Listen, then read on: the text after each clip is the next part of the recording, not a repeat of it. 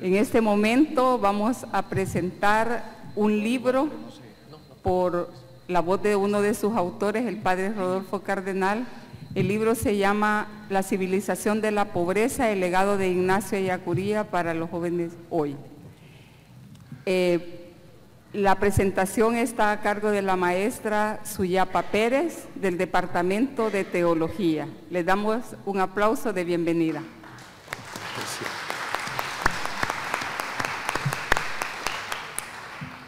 Tengan todos y todas muy buenos días. Queremos presentar al padre Rodolfo Cardenal Chamorro. El padre nació en Managua el 29 de noviembre de 1950 Ingresó en la Compañía de Jesús en 1970 y recibió el presbiterado el 16 de octubre de 1982. Estudió filosofía y teología en la Universidad Centroamericana UCA de El Salvador, historia en la Universidad de Texas Austin y teología en la Facultad de Teología San Francisco de Borja de San Cugat del Vallés en Barcelona. Obtuvo el grado de licenciado en filosofía en la UCA de San Salvador de maestro en artes en historia en Austin, Texas, y de bachiller eclesiástico en teología de San Cugat, Barcelona.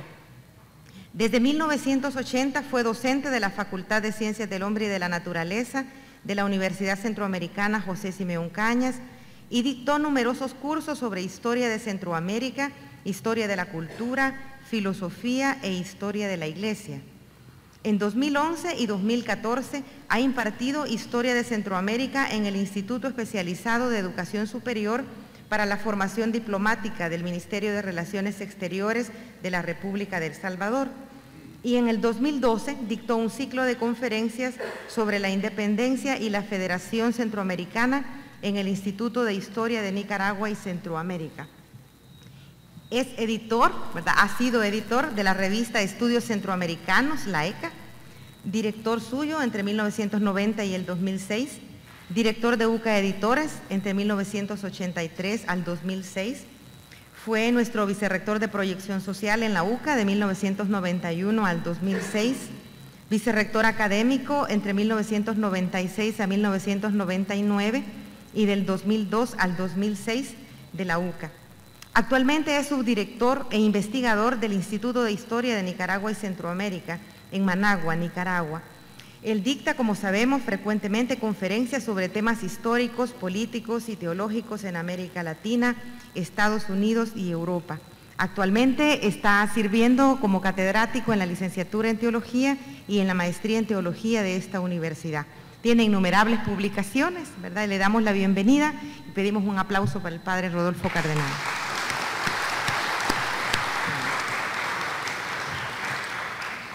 Muchas gracias, buenos días y un agradecimiento especial por estar aquí sábado a las 9 de la mañana. Bien, eh, me toca presentar este libro que es un libro en colaboración sobre el pensamiento de Ignacio Yacuría, porque ese pensamiento posee todavía un gran poder de convocatoria en América Latina, en Estados Unidos y Europa en particular, en España, Alemania y Austria, ha encontrado eco y en Estados Unidos se han traducido incluso algunos de sus escritos más importantes. La difusión de su obra ha sido acompañada de la elaboración de estudios sobre sus pensamientos. Sus ideas son discutidas en aulas universitarias y se han elaborado tesis doctorales en español, portugués, inglés, alemán y asimismo con frecuencia se organizan conferencias, encuentros y seminarios. La bibliografía sobre Yacuría aumenta año con año, una manifestación de la importancia de su pensamiento. El mismo Yacuría se ha convertido así en signo de los tiempos enviado por Dios para revertir la historia. El coloquio internacional sobre el legado de Ignacio Yacuría, que es el que produce este libro, recoge parte de esa influencia. En su seno de ese coloquio nos reunimos unos 10 académicos salvadoreños, latinoamericanos, europeos y estadounidenses. Hasta la fecha nos hemos reunido en dos ocasiones, el 2009 y 2014. En la primera sesión el grupo se consolidó, en la segunda sesión hay dos novedades. Primero la presencia de dos teólogas, Marta y Suyapa, y la presencia de la tercera generación de estudiosos más jóvenes cuyos trabajos han abierto nuevas perspectivas sobre el pensamiento de Yacuría. Nos solemos reunir para reflexionar sobre su legado en el mundo actual, para compartir nuestras intuiciones y para preguntarnos por su proyección futura. Ya desde la primera sesión expresamos con claridad que no deseábamos convertirnos en los custodios de la tumba de Ellacuría, sino actualizar e historizar su pensamiento, mantener vivo su legado y según su propia formulación ponerlo a producir. Estamos convencidos de que su pensamiento todavía no ha dado de sí todo lo que podría dar. Los aportes y las discusiones de la segunda sesión de este coloquio internacional pueden sintetizarse en el título de la obra, la civilización de la pobreza, el legado de Ignacio Yacuría para el mundo de hoy. En ella se recogen en una doble edición en español y en portugués y una versión algo similar pero con algunas modificaciones en inglés. La, versión en inglés ya está circulando, la de portugués también y la de español comienza a circular ahora en El Salvador y en Lima. Queremos conmemorar con, ese, con esta obra los 25 años de los mártires de la UCA de San Salvador, al mismo tiempo que compartimos con los estudiosos, los interesados, el pensamiento de Ignacio Yacuría. En la actualidad, los mártires del Salvador y los mártires de la UCA, la beatificación de Monseñor Romero ha contribuido a eso en buena medida, ejercen una atracción que se hace sentir más allá de El Salvador, en América Latina, en Estados Unidos, en Europa y en otras partes que no conocemos bien. En muchos sitios se han erigido monumentos para conmemorar su memoria martirial y sobre todo su opción por la liberación de los pobres y oprimidos. Su potencial es manifiesto en campus universitarios, casas comunales, templos e incluso en comunidades de base.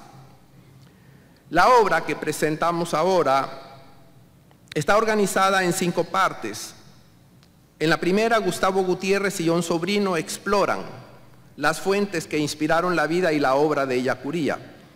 El primero, Gustavo, explora el fundamento de su espiritualidad, pero la entrega de Yacuría resulta incomprensible sin el impacto de Monseñor Romero, acontecimiento al cual se aproxima John Sobrino. Ahí tiene lugar el enfrentamiento con el misterio de Dios y la respuesta de la fe. Es el ámbito donde surgen las preguntas sin respuesta, y el silencio ante la inconmensurabilidad del absoluto. La segunda parte está dedicada al método de Yacuría. Francisco de Aquino Jr., portugués, perdón, brasileño, explicita y justifica desde un punto de vista teórico el carácter práctico de la teología de Yacuría. Y André Prevot, estadounidense de origen haitiano, discute a partir del pensamiento de Yacuría y de Enrique Dussel, los fundamentos de un potencial enriquecimiento mutuo entre la teología de la liberación y la fenomenología. La tercera parte está dedicada a la teología de Yacuría, una teología que Tomás Fornet Ponce sintetiza como teología del signo.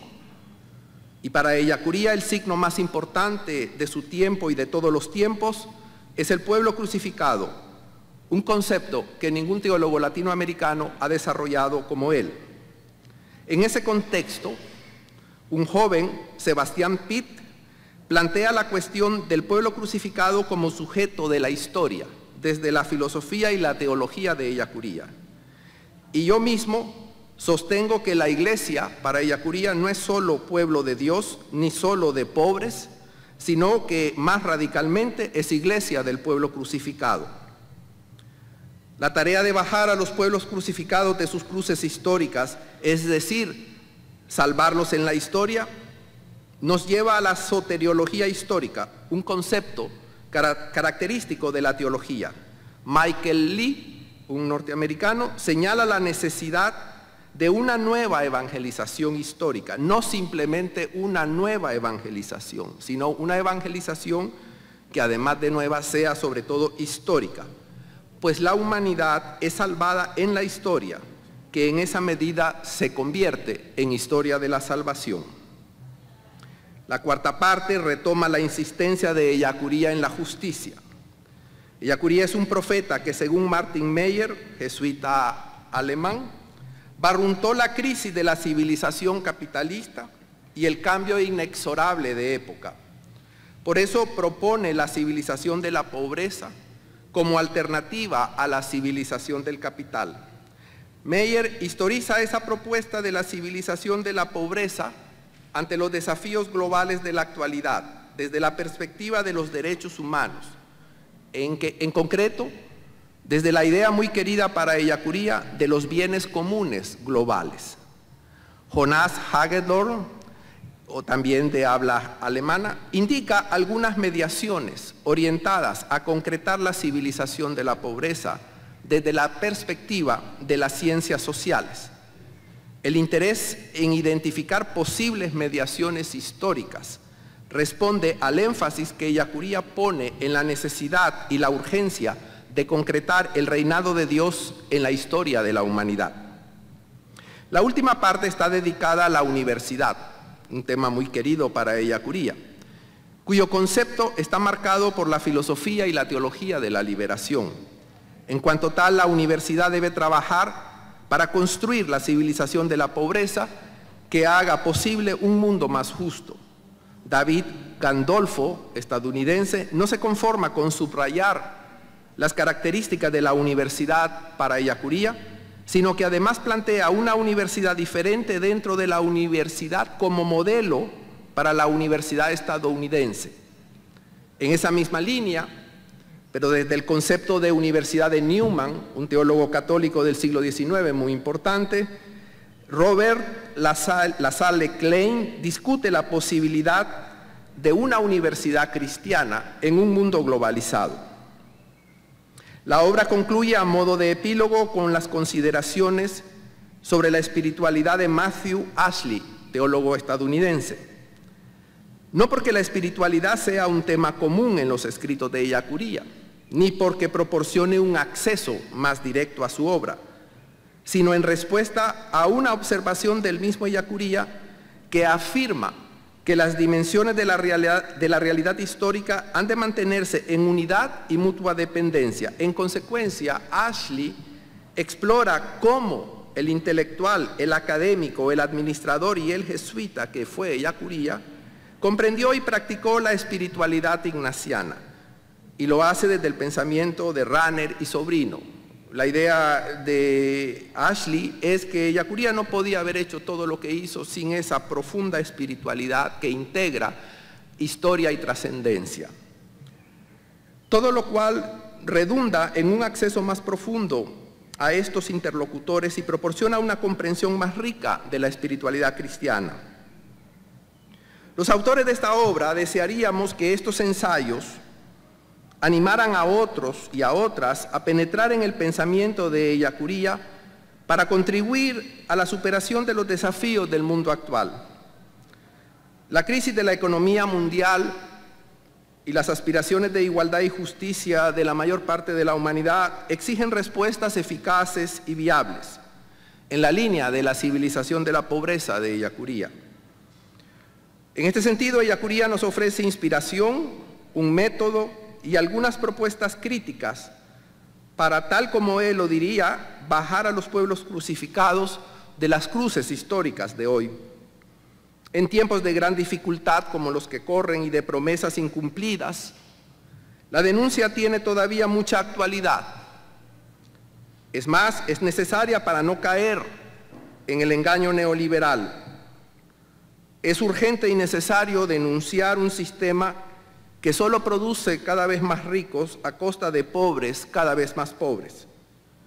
Ellacuría ayuda a perderle el miedo a los falsos dogmas neoliberales disfrazados de ciencia exacta. No se trata de discutir sus cálculos matemáticos o económicos, sino los presupuestos de esos cálculos. Porque si los presupuestos antropológicos neoliberales son falsos, los cálculos son inválidos. Y el presupuesto fundamental de estos economistas neoliberales es que los seres humanos somos consumidores racionales y libres. En realidad, somos más que consumidores y en cuanto tales, no somos a veces ni racionales ni libres. La publicidad se encarga de demostrar cuán irracionales somos como consumidores y como seres humanos, porque nos manipula. Eyacuría enseña la necesidad de la sospecha, de sospechar de la apariencia. La realidad no es lo que parece. Y pregunta cómo plantear las preguntas correctas, aun cuando no tengamos una respuesta satisfactoria. Pero él pensaba que la pregunta es elemental para avanzar en la aprehensión de la realidad en toda su riqueza y su complejidad. La pregunta es lo fundamental, la respuesta es secundaria porque la respuesta va cambiando. El capitalismo de todas las latitudes ha fracasado en proporcionar un pleno empleo, aun cuando su discurso suele ser persuasivo hasta el punto de crear expectativas, es una falsa promesa. Todos los gobiernos prometen crear empleo, incluso los diputados actuales y los alcaldes. Pero es que esa no es la finalidad principal del capitalismo, crear empleo. Y tampoco se organiza en torno a la noción de libertad, como suele decir, tal como suele afirmar, frente a los totalitarismos y las dictaduras, en parte porque es otro totalitarismo y otra dictadura, disfrazada de democracia. Al economista neoliberal no le interesa el sufrimiento y la exclusión de la mayoría de la población, ni tampoco los oligopolios y los monopolios, que dejan ganancias exorbitantes a las corporaciones. Su obsesión es el crecimiento económico. Basta más que observar lo que dicen los periódicos y en los medios de comunicación, televisión y radio. La obsesión es el crecimiento económico.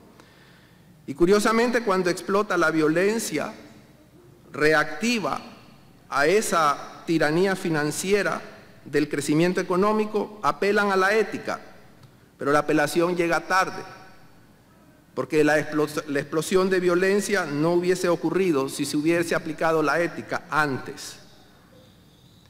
Y pienso que el fenómeno de las pandillas está vinculado a la exclusión neoliberal. El fenómeno de las pandillas no es solo un fenómeno social, sino que está vinculado a todo lo que supone la sociedad neoliberal actual que tenemos. Los ideólogos y los defensores del capitalismo alegan que el desempleo, el salario bajo, la desigualdad, etcétera, son defectos a corregir de, los que, de lo que aseguran es el mejor sistema económico posible. La observación tiene un punto de verdad y un enorme vacío. Olvidan que en el capitalismo no cabe la moderación, sino que debe explotar sus posibilidades hasta el límite para no hundirse. Así, el máximo del capitalismo supone el mínimo de empleo y el máximo de diferencias sociales. El fundamento de la relación económica es la competencia, pero cuando la competencia se convierte en la base de la relación humana, resulta devastadora. Así como es de eficaz para generar ganancias, es de cruel e inhumana. No es una cuestión de eficacia, sino que el capitalismo es tan eficaz como cruel. Solo sabe producir riqueza a condición de no repartirla o de repartirla de manera inicua. De esa forma, arrastrada por efectos seductores, convierte a unos medios inhumanos y crueles en legítimos, el capitalismo convierte al ciudadano en consumidor, lo cual genera un déficit humano en el doble sentido de que todo lo convierte en mercancía, hasta los aspectos más humanos y personales, y de que solo se puede aspirar a ser consumidor. De la misma manera que antes solo el propietario era ciudadano, ahora solo lo es el consumidor. Pero para satisfacer las expectativas del consumidor es necesario obtener el máximo beneficio posible de la actividad económica y la persona se valora y es valorada por lo que posee, no por lo que es, por la riqueza acumulada, no por el trabajo, por su capacidad para consumir, no por la solidaridad.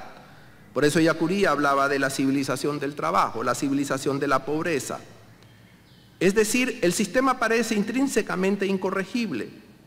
La historia muestra que el capitalismo solo se modera cuando se enfrenta a una gran amenaza externa, como lo fue el socialismo soviético. Indudablemente el capitalismo tiene virtudes y ha hecho importantes contribuciones a la humanidad, tal como lo afirma ella Curía. Pero esas virtudes y esos aportes coexisten con la maximización del beneficio a cualquier costo. El sistema capitalista necesita dejarse afectar por la ética, Pero entonces sus ideólogos y defensores argumentan que esa consideración no es económica, lo cual es correcto en principio, no es una consideración económica, pero es una consideración humana. Si el capitalismo excluye expresamente de sus prácticas lo humano y lo ético, reconoce ser un sistema inhumano, irracional e injusto. Inhumano porque nos hace esclavos del capricho e insolidarios ante el sufrimiento humano. Irracional porque la tierra, nos lo recordaron en estos días pasados, produce suficiente para satisfacer las necesidades básicas de todos, pero no produce suficiente para saciar los caprichos de unos cuantos. Es injusto porque el beneficio no se justifica por su contribución, ni por el sacrificio, ni por el riesgo. Cuando el empresario arguye que ha de pagar menos para sobrevivir en la competencia, puede que mienta o que se excuse, pero si dice verdad, reconoce que el sistema solo sobrevive cuando atropella los derechos humanos fundamentales. A pesar de las facilidades que los gobiernos dan al capital, este no invierte para crear riqueza y empleo, ni en el bien común, sino que busca el máximo beneficio y el máximo beneficio lo empuja a disminuir el salario hasta la injusticia y a pedir la exoneración o evadir el pago de los impuestos justos. Ese es el caso de los capitalistas que tienen el dinero en los paraísos fiscales y que nuestros medios de comunicación amantes de la libertad no se atreven a mencionar quiénes son los 14 salvadoreños que tienen dinero, millones, fuera del alcance de Hacienda y que significa fuga de capitales del país. Ese es el caso de las transnacionales, que para establecerse exigen la dispensa de la legislación social y ecológica como condición ineludible, pero después no invierten, porque la especulación o lo que hoy se llama la financiarización, producen más beneficio con menos riesgos que la inversión productiva. Por eso, y para evadir los impuestos justos, esconden las ganancias en paraísos fiscales. Unas ganancias que debieran ser distribuidas o invertidas para el beneficio de todos. Además, la competencia capitalista es necesariamente desleal. Es imposible obtener el máximo beneficio manteniendo la lealtad, donde la competencia es feroz. Por lo tanto, la lealtad es también descartada como consideración no económica por los economistas liberales. Pero quizás lo, que, los, lo que los economistas liberales, neoliberales y defensores del capitalismo quieren decir cuando desechan la ética como consideración no económica es que la introducción de perspectivas humanas y morales en la economía es contraria al individualismo egoísta. La alternativa a todo esto en la línea que proponía ella Curía con la civilización de la pobreza. Es una economía que no busque la maximización del beneficio, sino el beneficio equitativo. Así la necesidad y la legitimidad del beneficio están aseguradas, que excluye la maximización por ser contraria al destino común de los bienes de la tierra, que incluye a todos los seres humanos. Se trata de una economía que ponga el destino común de todos los bienes de la creación por delante del derecho de la apropiación privada de dichos bienes, porque todos y todas tenemos derecho a encontrar en esta tierra lo que necesitamos. Por lo tanto, todos los demás derechos, incluido el de propiedad, están subordinados a ello. La estructura actual de la propiedad privada no es un medio que garantiza el destino universal de los bienes, sino que justamente lo impide. Una economía que no aspire al consumo de bienes cada vez más superfluos, sino a la satisfacción universal de las necesidades verdaderas. Una economía donde el consumo excesivo sea declarado injusto y perseguido, porque unos consumen demasiados bienes superfluos, mientras que otros no pueden consumir los bienes básicos. Se trata de una economía que trate igual al capital y al trabajo, sin privilegiar a aquel con menoscabo de éste. Una economía sometida a la política, no a la inversa. La independencia de la economía es una falsa ilusión deslumbradora que a largo plazo nos ha llevado a este callejón sin salida de las pandillas y de otras formas de violencia. Una economía que no considere el dinero como causa productora de riqueza, sino como ocasión para producir riqueza, lo cual relativiza en gran medida el valor del dinero. Una economía así en esos términos solo es posible si se deja interpelar por la ética o por los valores que con tanta insistencia se reclaman hoy como medida eficaz para superar los conflictos actuales. Pero más que, rescatar valor, deberíamos hablar de invertir los valores, porque los valores que se han propuesto no son los valores verdaderos, sino tenemos que rescatar valores para invertirlos y crear otro tipo de sociedad y otro tipo de economía. El consumo nos ha hecho indiferentes. Hemos perdido la capacidad para la indignación y para reclamar el cambio. Nos han acostumbrado tanto a la injusticia estructural y a la violencia que las consideramos fenómenos naturales con los cuales hemos de convivir. Prueba de ello es que hemos aceptado el lenguaje neoliberal con toda naturalidad, un lenguaje que modera la cruda realidad y la oculta. Finalmente, ojalá el deseo de todos los autores y editores de esta obra es que ella contribuya a despertarnos de esa falsa ilusión, de la indiferencia, y nos impulse a trabajar en alternativas para construir una sociedad basada en el trabajo, el mérito y las oportunidades para todos, tal como soñó ella Curía. Muchas gracias.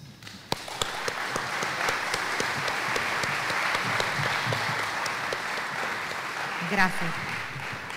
En este momento, Yancy eh, y Nilser bajarán hacia ustedes con los micrófonos para que puedan hacerle sus preguntas a nuestro ponente, el Padre Cardenal.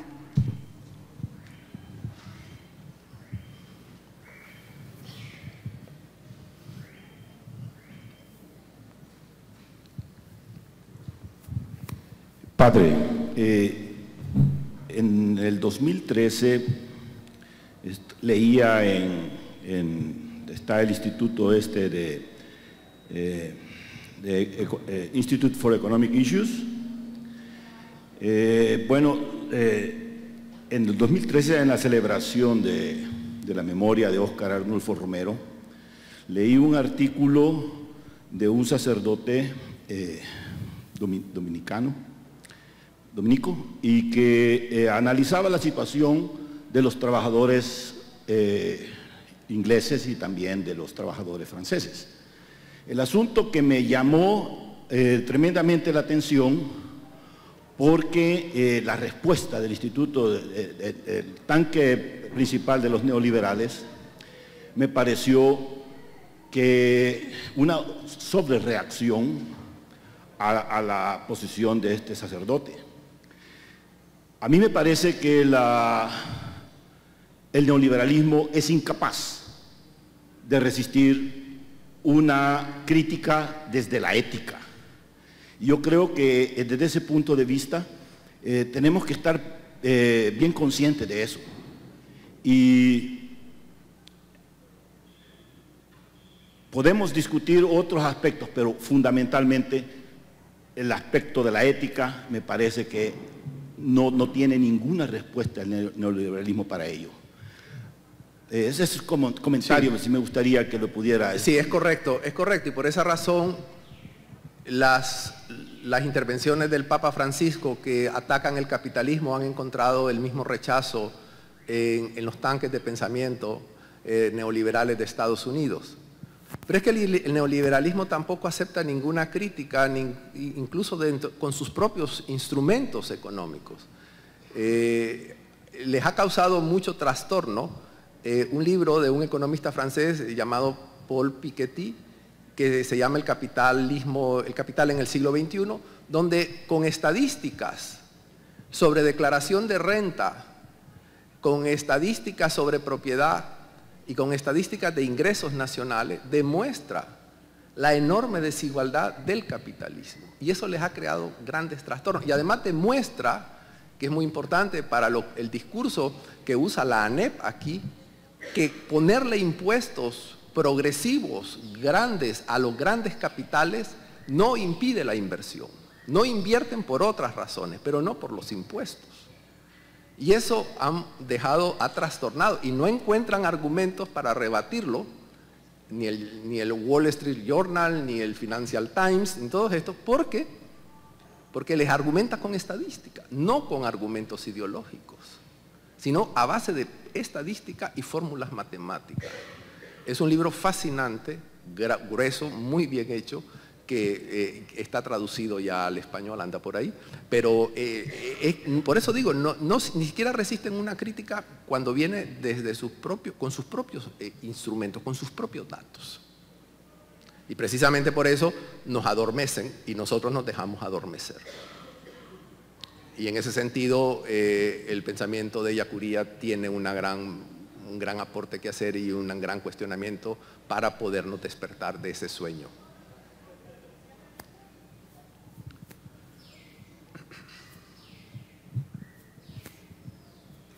Gracias Rodolfo por la ponencia. Estoy muy de acuerdo. Vengo de Austria, de Europa, y conozco el mismo problema de este otro lado del mundo. Y los que trabajamos con la gente eh, en la base, con educación de adultos, eh, también con este, con este enfán de justicia social, siempre nos pregunta la gente, nos preguntamos nosotros también, ¿qué podemos hacer para llegar a una civilización de pobreza, como piensa Eacuría? porque sí, es de entender lo que quiere decir, pero la gente en el fondo, bien alimentada, bien equipada sus casas y todo, y, con su, en su capa media, tiene miedo de la pobreza. No quiere cambiar su estilo de vida porque bajar un poquito el estilo de vida para ellos significa un miedo grande. Entonces la pregunta es, ¿Qué podemos hacer nosotros allá? Pues hay que seguir insistiendo en la denuncia, en el anuncio, insistiendo y formando y difundiendo. Lo, que, lo, que, lo, peor que podemos hacer es conformarnos y silenciarnos y callarnos. Y por eso esta mañana he optado por decir lo que dije. Eh, la pregunta es eh, sobre la reserva legal que supuestamente las sociedades deben tener para el pago de indemnizaciones de los empleados.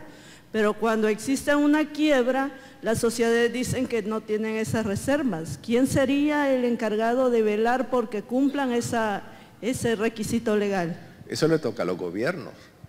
Y un gobierno que dice ser de izquierda debería ser muy exigente y riguroso con eso. Eso le, toca, eso le toca al gobierno. Lo que pasa es que no se atreven, me parece.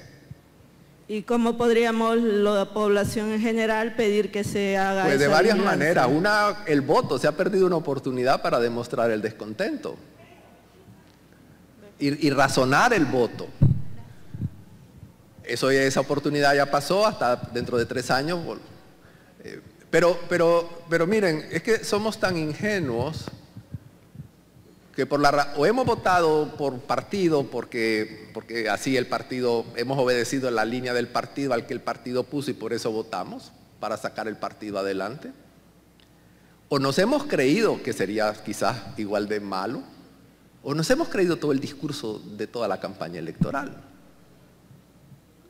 Pero ninguno, ninguno que yo sepa, ha dicho cuánto va a costar lo que ha prometido y de dónde va a sacar el pisto para hacer lo que ha prometido. Esas promesas son falsas, son vacías.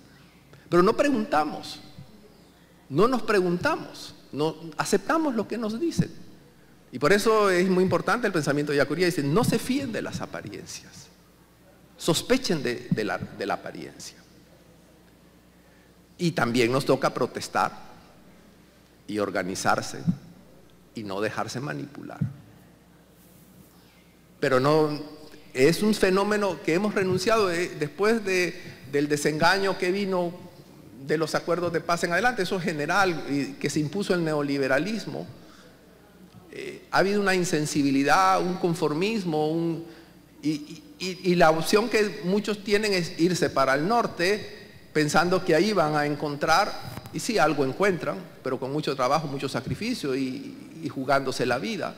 Pero eso debía estar aquí en el país, en su país. Y, nos han adormecido, nos, hemos vuelto conformistas.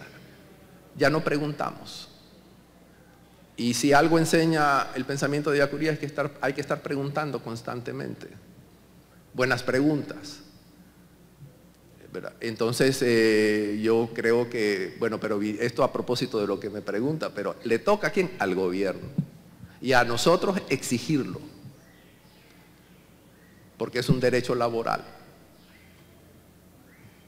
Y no se preocupen que el capital no sufre por eso, lo que pasa es que gana menos y por eso no quiere hacerlo. A ver, Rodolfo. Sí. Aquí. No, a ver, en primer lugar quiero agradecerte tu reflexión sobre el capitalismo, que yo cerraba los ojos y pensaba que se podría haber hecho esa reflexión en España y hubiera tocado todos los puntos débiles del sistema político y económico europeo, ¿no? Y que por tanto me parecía, por un lado, que tu discurso era universalizable, de la misma manera que el modelo cultural actual no lo es, como decía Yacuría. Y en segundo lugar, tu, discurso me ha recordado algo que yo he repetido muchas veces, que no hay mayor fundamentalismo en el mundo actual que el neoliberalismo. Es, puro fundamentalismo. ¿no? Bueno, quería saber si tú compartías. Sí, sin duda, sin duda. Y permítanme que, avanzando sobre eso, y a propósito de lo que decía de las elecciones, nos venden las elecciones como que eso es un ejercicio democrático. Es una democracia, sí, pero no será verdadera democracia mientras no se redistribuya la riqueza. Y en este país, según los datos que da este libro del Capital en el siglo XXI, aunque no estudia El Salvador, pero por inferencia de lo que dice de los otros países, se puede, se puede decir o se puede casi afirmar con certeza que el 10% de la población que tiene la mayor parte del ingreso nacional, de ese 10%, el 1% se queda con el 98-95% de todo el ingreso nacional. Bien, eso es lo que hay que redistribuir. Y se redistribuye vía impuestos. Y mientras eso no se haga, la democracia es vacía, es hueca, o si quieren, democracia neoliberal o fundamentalismo neoliberal. Ya votamos, ya este es un país democrático. Mientras no se redistribuyan los recursos naturales y el trabajo de todos en El Salvador, no hay, en El Salvador y en ninguna parte no hay democracia. Es una democracia que nos engaña, nos engaña. Así es que eh, tenemos que ser un poquito más inquietos, digámoslo así. Antes de la última pregunta, uh, un pequeño comentario de mi parte para dar actualidad a la exposición de Rodolfo de la perspectiva europea. En la semana, pasada han inaugurado con gran fiesta el Banco Central Europeo en Frankfurt. Y invitaron toda la gente, todo el pueblo a una fiesta y se asombraron cuando el pueblo ha venido en gran masa, pero con piedras y por fin quemaron muchos carros. ¿Qué quiero decir? Este sistema, a mi perspectiva, además es ingenuo, estúpido. Y además la violencia reactiva al sistema no más es un problema del Salvador, de Latinoamérica, del tercer mundo, sino ya ha llegado a Europa, a los Estados Unidos, y esto es suicidio. Padre Rodolfo Cardenal, este, como nos dice pues el personaje que estamos, de quien estamos hablando, Yacuría, que sigamos preguntando, yo sigo preguntando. Sí, sí. Este, realmente pues sería de reflexión ya que mencionó las elecciones ya aprobamos la derecha y aprobamos la izquierda. Ya vimos que son los mismos vicios, ¿verdad? Eh, los mismos y tal vez aumentados, ¿verdad? Este, lo que cambia son las personas que antes eran pobres y hoy son ricos, y los que eran ricos tal vez son... No crea, no cambian mucho, no cambian mucho. Bueno, ok, pero eh, el cambio tal vez no se puede medir en volumen de, de capital, sí pero en personas, por, por el crecimiento que tengan en, su patrimonio, tal vez ahí pues se pueda apreciar cuántas veces sube. ¿va? Así es que este, los vicios son los mismos. Estamos criticando que el militarismo es autoritario, injusto y todo. También pues se está viendo en los diferentes tipos de gobierno en Latinoamérica, que eso se vuelve a repetir, ha aumentado. Así es que yo quería su opinión para ver algo de luz, pues a dónde podemos estar eh, eh, con esperanza. Bueno, siempre que hay una pregunta hay una esperanza, porque la pregunta no está conforme con lo que tiene, por lo tanto está mirando, y, sobre todo si, si preguntamos desde la utopía, la, esperanza es incansable. Y entonces hay que seguir preguntando y organizándose y protestando y no dejarnos engañar. Es decir, es cierto, eh, ya probamos con uno, ya probamos con otro, y, la conclusión que vamos sacando es que son todos lo mismo. Una vez que están en el poder, son todos casi lo mismo. Bueno, pues exigirles, exigirles. Pero exigirles quizás no tanto con, con gritos, pedradas, pero sino exigirles cuando se presentan en las comunidades cuando, cuando van pidiendo, repartiendo mm, salud y, gorros y, bueno, cuando van por ahí, ahí preguntarles, ¿y esto cómo me lo explica? ¿Y esto otro cómo me lo...? Y que sientan la presión. La presión, Marta ha puesto ahora el ejemplo este del banco, sí, está en todas las noticias internacionales hoy en la mañana, de las protestas. Eh, hacerles sentir que, pensamos y que no estamos satisfechos y que, no, y que van a tener que inventar otra cosa porque así, o, responder eh, con honestidad porque así no se puede seguir. Pero eso depende en buena medida de nosotros. Bien, muchas gracias y les agradezco su presencia esta mañana.